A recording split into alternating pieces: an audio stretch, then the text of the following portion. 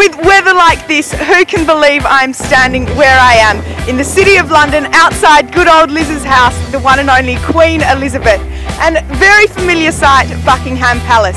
Why don't you come with me? I'm going to show you around a few sites of London and we're going to find out what the people around here know of our hometown Perth. Another very familiar sight, we're standing here at Piccadilly Circus advertising red buses, black cabs, tourists, the tube, you name it, you've got it here at Piccadilly Circus.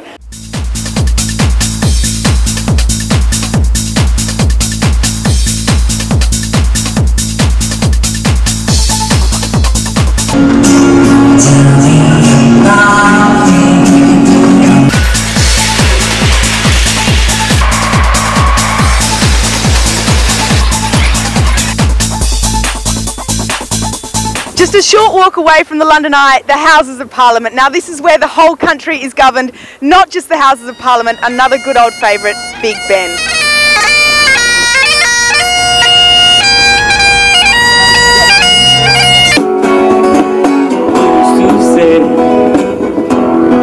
Impossible forgot The world keeps spinning and with each new day There's no stopping curiosity I want to follow being upside down.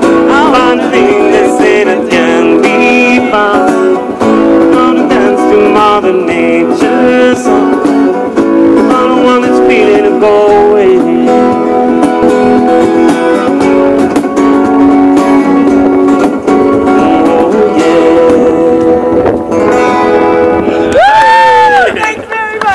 guys. Thank you. As much as tourist attraction as it is a department store, Harrods must be one of the most well-known names in the world, boasting to die for fashion by some of the most elite designers, also an incredible food court and amazing homewares. Somewhere I'd love to be lost in. Behind me now I have Westminster Abbey, one of the most beautiful and ornate buildings in all of England. Look at it, absolutely stunning architecture. Almost all of England's monarchs have been crowned and buried here.